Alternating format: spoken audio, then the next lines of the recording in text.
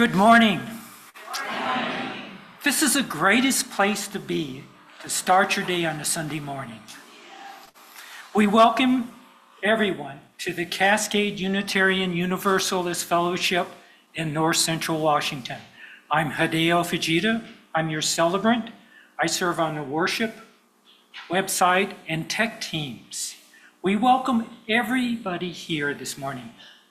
We welcome our visitors. We're glad you're here. We welcome everybody and every person of goodwill, just as you are. Whatever your body, whatever body you inhabit, whomever you love, whatever your age, you are welcome. We invite everyone for coffee, treats, and conversation after this service, both in person and on Zoom. This is an opportunity after the service to expand those conversations that you may have had cut short at the beginning of the service so you can complete them. It is also an opportunity to connect with those you do not know very well or have not met. And it is also an opportunity to give feedback to anybody you see up here today. Are your feedback, your comments, any suggestions you have are certainly welcome and much appreciated. Our fellowship is located on the ancestral homeland of the Pasquosa, the land from Lake Wenatchee down to the Wenatchee River, across the Columbia River, is the uh, right across the Columbia River to right here. This is the ancestral land of the Pasquosa, the Wenatchee people. For thousands of years, a time immemorial, the Pasquosa have steward, been stewards of this land, fishing, hunting, gathering plants for medicine and food, and practicing cultural traditions. The Pasquosa, now part of the Confederated Tribe of the Colville Reservation, still live here. We acknowledge that their land has been taken over because of U.S. government broke treaties obligations and allowed uninvited colonists to settle here. We stand beside the community of the Pasquosa First Nation people as they continue their traditions to seek to have all their rights recognized. You can find more information about this on our website at cascadeuu.org. I call us to worship with words slightly adapted from my colleague, Reverend Amy Williams Clark, who has been serving in Maryland since 2015. We gather in this time of uncertainty, full of unknowns, as angst closes in around us. We light this chalice, and the flame draws us together. With the fire, we will cut through the dark, dank of isolation as we are warmed by our interconnections. For this moment, this radical moment, we find faith within the knowable bonds of love and community. The chalice and flame symbolize our congregation gathered in principles and faith. For those who at home with the chalice, please join in with us lighting the chalice. Please join in speaking the lighting words printed in your order of service or on the screen.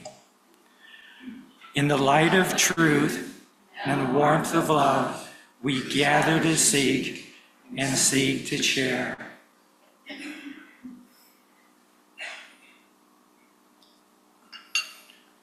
We have a fun story for you this morning. For the time for all issues, it is The Bear and the Kindness of Strangers. This is a story that I wrote and illustrated. So, all the children, would you like to come up, please?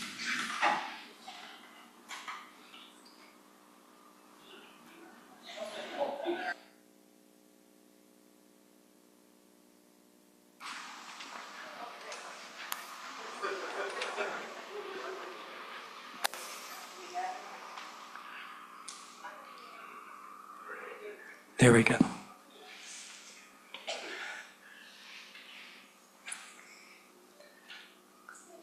The Bear Family and the Kindness of Strangers.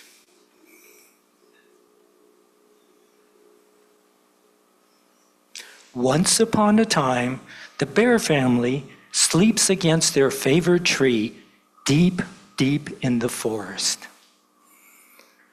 Papa Bear, Mama Bear, and Baby Bear sleep peacefully under the warm, radiant sun.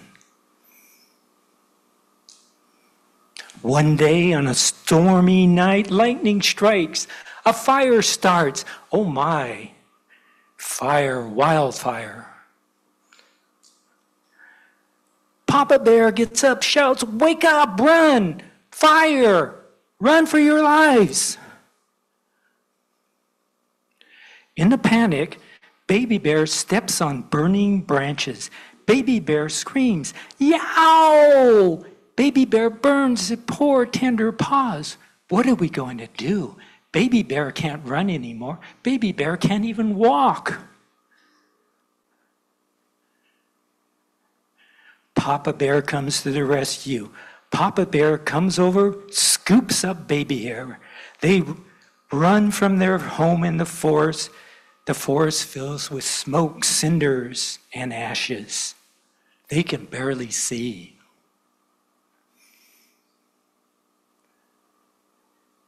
To get to safety, they think about the water. They run as fast as they can to the river. They all get to the river safely. Papa Bear gently cradles Baby Bear on his tummy. The cold water cools Baby Bear's paws. The river carries the bears across the, the river far away from their home in the forest. Now the river carried him across the river to the other side. Poor baby bear is still frightened. Papa bear says, We're safe now. Hearing this, baby bear manages a small smile.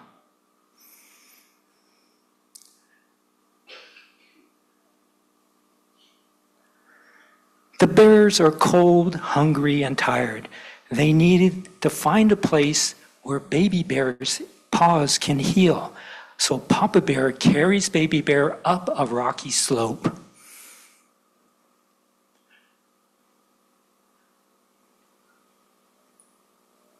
Then they come upon this blue house. Some of you may recognize it. It's right next to a big tree.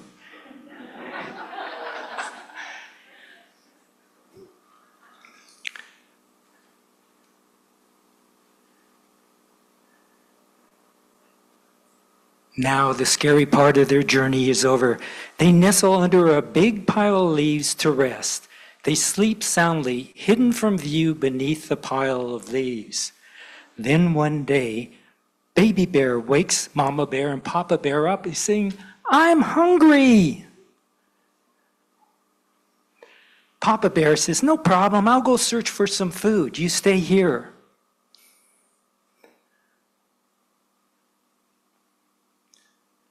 Papa Bear returns with armfuls of fruits, vegetables, bread, cheese, and their favorite, honey. This is the best meal they'll ever have.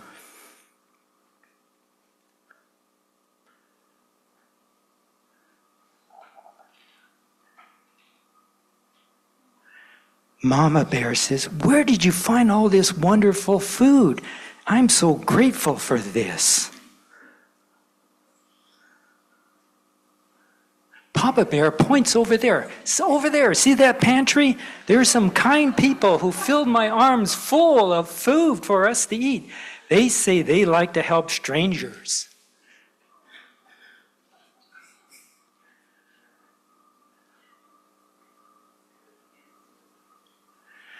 Resting and sleeping and eating beneath the majestic tree under the warm sun, baby bear's paws heal.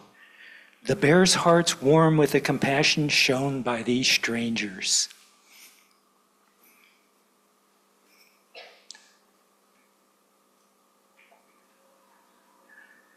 Now that baby bear's paws are healed, it's time to say goodbye. But before leaving, the bears go over to find the people in the pantry. They can't find anybody, but they find this note pinned to the front door.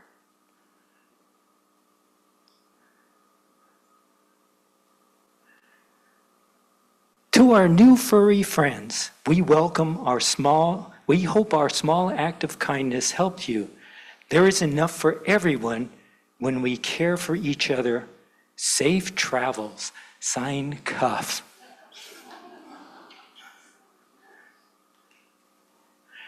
The bears never forget the kindness and compassion of these strangers.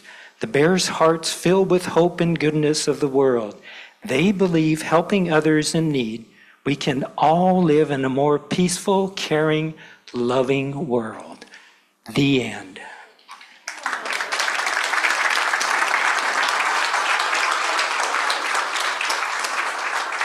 And before you leave, the bear family left some of their fruit for you.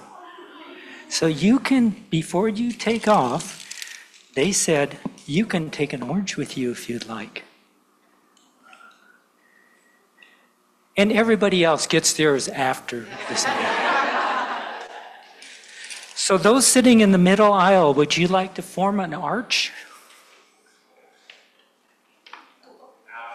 Go to each other.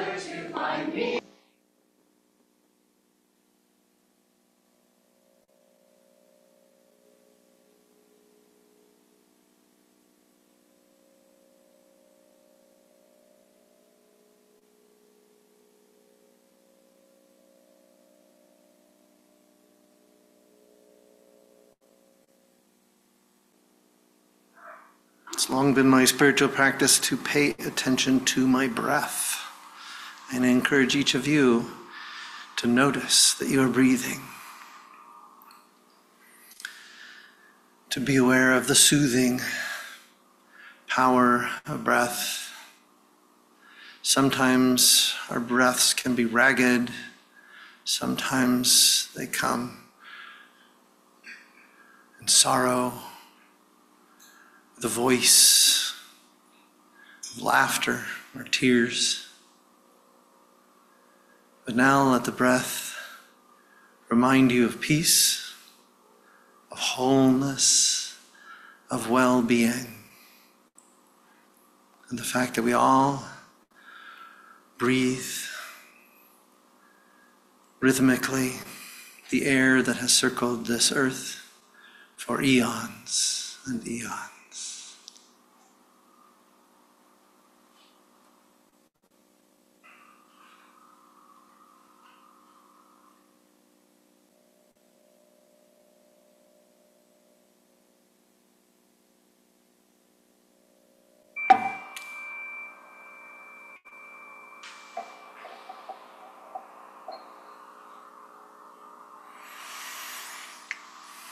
There was a joke that had been passed around for over 100 years before Benjamin, Benjamin Franklin famously wrote in a letter in 1785 Our new Constitution is now established, and it has the appearance that promises permanency. But in this world, nothing can be said to be certain except death and taxes. Life is inherently uncertain. And if you have difficulty dealing with that, you will have difficulty dealing with life, says Michael Dugas, professor of psychology at the University of Quebec, a leader in the study of uncertainty and mental health. At heart, being unsure demands a crucial admission that the world is unpredictable, dynamic, flawed, and so are each of us. Our UU approach recognizes that the strength of knowledge in our own minds derives from its very mutability, the changeableness of the world. We lean into the possibilities of the world we lean into, for this is a realm of second chances. But it is also a place where things are uncertain and anything can change at any moment. In fact, there are many certainties in life beyond death and taxes, things that cause us to be uncertain. Today, I remind you that in the midst of uncertainty, it helps to be open. It helps to seek in what we have faith, what we trust. It helps to take action and make the world as best we can. 2,600 years ago, Gautama Buddha, the Buddha, noted five certain things to remember. Was a way of helping people keep from getting caught up in the things that we wanted to cling to and keep stable. He wanted to keep these five things from being sources of suffering and fear and anxiety and unease. The five remembrances, they're called. They highlight that, first of all, we are all of the nature to grow old. There's no way we can avoid old age. Second, that we uh, might be able to avoid many illnesses, but we cannot prevent all illness. We cannot, we also cannot avoid dying. Death is going to come to each of us, nor can we avoid change or the endings of anything that we really love. And finally, we cannot own anything but our own actions in this moment. These remembrances are like many good spiritual guides, advice, tempers to our ego, which wants to be strong and certain and enduring and internal. We cling to things. And we don't want things to change whether we are very conservative or very liberal, there are always parts of us that don't want things to change. We want to have things that are stable and consistent. I get irritated every time there's another upgrade to Google, and all of a sudden the menus change, and I can't figure out how to get anything done, and I have to figure it out all over again. Always changing. Society is changing. And for some people, changes in society, changes in the social structure have caused incredible anxiety and fear, a sense of alienation. So people are struggling with this change. We want to all be free from fear and anger and hatred and division. We want to always move towards community and confidence and comfort and sometimes we want to cling to the things that seem to be giving us that and resist change. But our way of religion, the UU way of religion, grew out of doubt doubt about Christian doctrinal certainty, about authoritarian established ideas. We extol doubt as a rejection of that way of religion that tries to lock everything down. I heard about a UU mom who was talking to her daughter, and she said, Remember, dear, her da- daughter had been enunciating these truths absolutely and certainly. She said, Remember, dear, a smart person always has doubts about things. Only a total idiot could be a hundred certain about anything. And the, and the daughter says, Are you sure? And she goes, Absolutely, there's no doubt about it. For us, doubt is a sign of spiritual maturity that faith without doubt is just a superficial frame that we stick on the world, not real, not vibrant, not able to sustain reality and the changes of world. Doubt is the idea that doubt is a flip side of faith denies the fact that the really the two much work together that the presence of doubt is actually a sign of a healthy theological mind. And its absence, well, is just one of rigid, rigidity and fear. The Reverend uh, J. Woolen, you, you, J. Woolen once wrote, Are we a people of holding on or letting go? Do we hold on to certain ideas or do we let go and open our minds and hearts to what is new do we hold on to certainty about how things should be, or do we let go and live with the uncertainty of ways of being in the world? Do we hold on to what makes us comfortable, or do we let go so that we may grow, so that we can be more comfortable? Do we hold on to what makes us safe, or do we let go, go, let go to make room to help others feel safe? Are we letting go because holding on too long and too tightly is never good for the soul.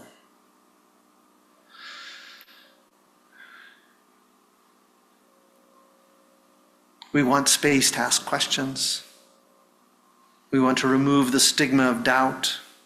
We do not want our children or our young people thinking that questions are bad, much less that following Jesus means believing six impossible things before breakfast. There's a mix of this commitment to learning and knowing. We always want to keep learning. And even the things that we know, even the things we're certain of, the things that we were told absolutely in school or in childhood, we find are not exactly as we thought.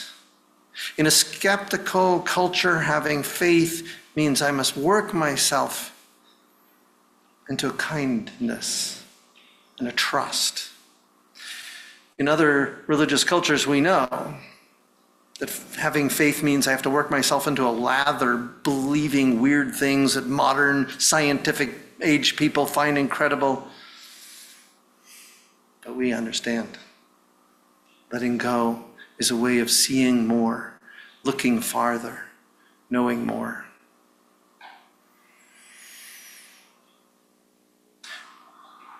I've long uh, resented that idea that taxes, taxes are somehow equivalent to death. The taxes are created by some external authority and forced on us. For me, I've always understood that governance, democracy, and taxes are things that come out of our commitments to one another, not forced on us from outside. There are things that, as a democratic community, we can change and manipulate, but we have found more and more that if we're committed to one another, we have to share, find a way to come together. But always, there are dangers. I've long had this faith in democracy that if we just shared information, if we all talk to one another, everyone is given a voice, everyone is given a vote, then it'll all turn out great. I used to believe that almost certainly, simply, clearly. I now understand that there are things like gerrymandering, and you have to stop the creation of pools of thought and concentration of power. The desire to be in control of the world fights against the desire to be open to the world. Desire to know what is right and put things in order and set the world in the right direction fights against the fact that any course we take will waver, will fall short. That any commitment to a doctrine or idea is a commitment to error because no idea is absolutely perfect. But over and over in human communities right now across the world, there are strong, mostly strong men who come in and say, I know how to fix everything, and I want you to vote for me, or I'm going to make sure that you don't even exist, that you don't have a voice. The dictators love certainty and live on certainty, even when they make errors. There's no error at all, right? Deny error, deny learning until it's long after and they've already established the new laws and put their critics off to, out to pasture and then then they might admit they learned something. When i was a student chaplain and just we know this is in the culture democracy is struggling. There are threats to democracy to community to justice to compassion. We understand this in this community. We want to teach people we want to find the powers that will teach people to be open. Remember when I was a student chaplain? A student chaplain in a hospice. And there was a family that had been, they there's a woman in their family who uh, was dying of cancer. And she'd been treated in the hospitals, and they'd kept her in the hospitals as long as they could until the final hospital said, There's nothing more we can do. And of course, the hospitals didn't want to keep that bed being used up, so they, they released her and they found an in-house hospice, and where I happen to be chaplain, one of the student chaplains. And the family was there, and this family still only wanted to talk about God's power of healing. They only wanted to hear about how God was going to bring her back, going to give her strength, get rid of the illness. They were certain, just so certain about it. And they would pray. Every time they prayed, it was always about God be present in this room. And, you know, I didn't know what to say to these people at all. The, the, the, the lead chaplain, the paid chaplain, was able to visit with them and work with them, sort of, but he kind of felt, uh, she, she felt somewhat unwelcome as well. They went on with this for two weeks. Two weeks, this woman was laying there in bed and dying, and they would only talk about her life and about resurrection. They were certain of it. And then she died. And instantly, instantly, they began to praise God for having brought her to heaven. They began to speak about the glories and the joys. They didn't speak about that before. They were thinking about it. They knew perfectly well. I suddenly realized they weren't just close minded people, they just had no religious language for expressing their doubt. They had no religious language for expressing fear. They didn't know how to show faith without saying, I'm confused and wounded and worried. All they had was just confidence and joy in their religious practice. It was an insight. It helped me understand people a little bit better. I realized all along they knew. All along they had some wholeness. They just didn't know how to put it into words.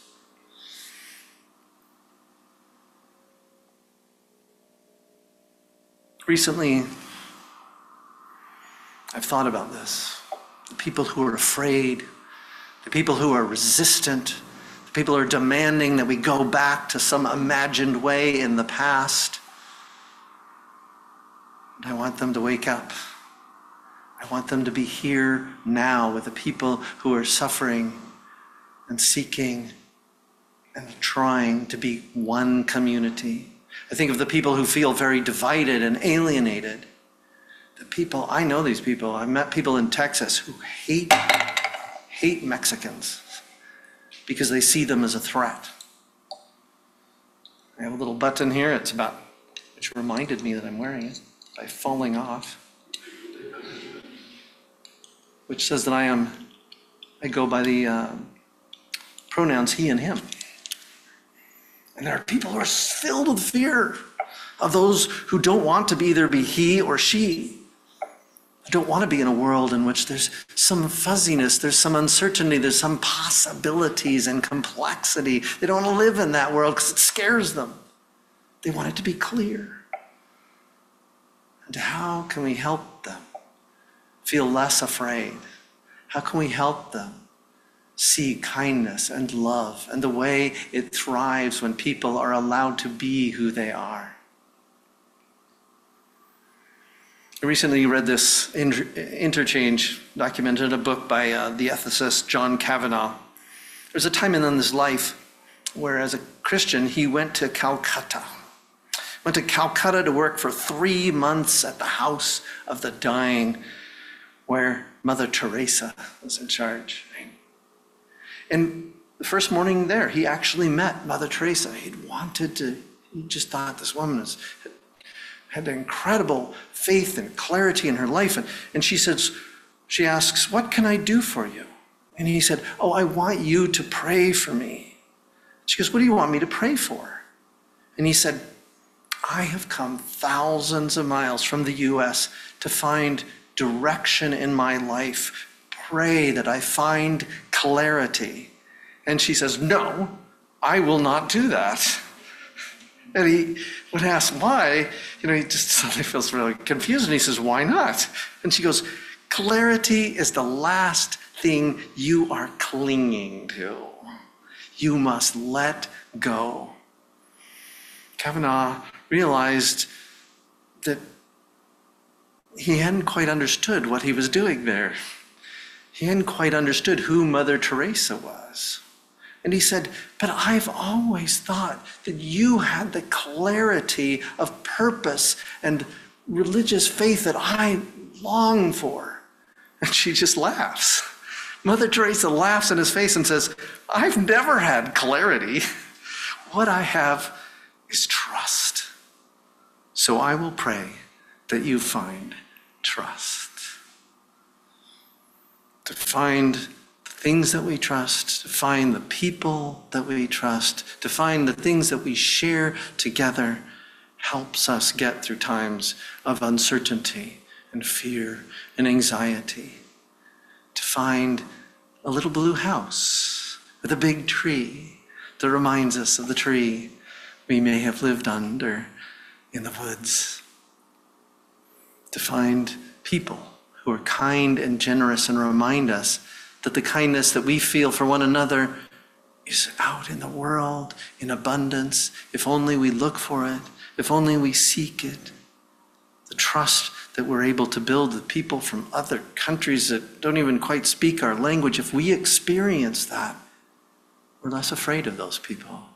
And we know how to lead this nation to be less threatened by immigrants and more open to the whole global community and to help people in other countries manage their world better so that people aren't trying to get out of those countries. To come into a whole, and that's only going to happen if there is a global community in which we all are full of generosity and kindness and caring and sharing and empathy and compassion.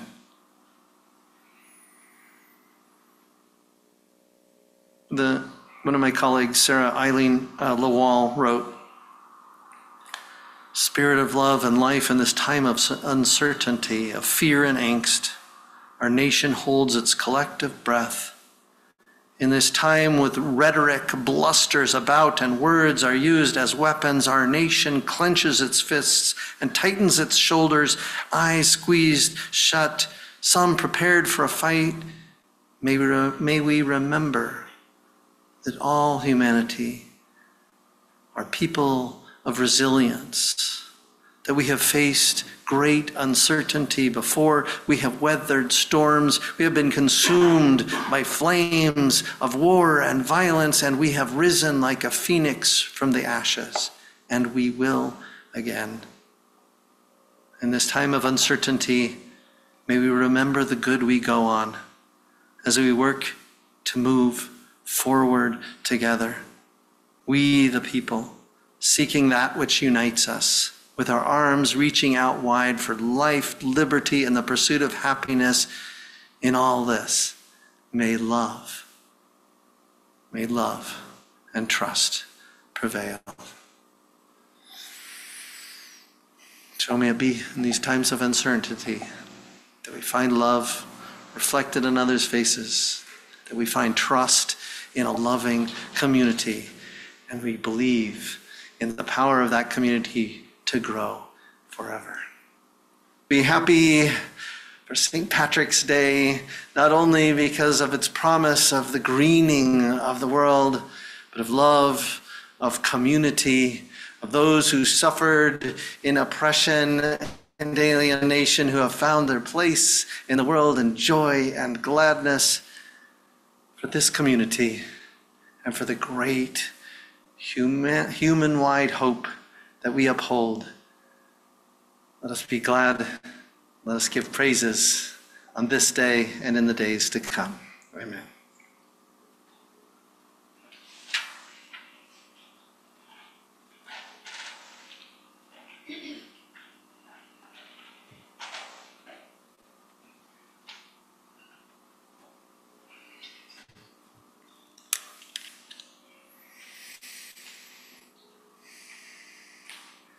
Please join with me in saying our traditional words, candle extinguishing words, or if you don't know them, listen carefully. We now extinguish this flame, but not the light of truth, the warmth of community, the fire of commitment. These we carry in our hearts until we are together again.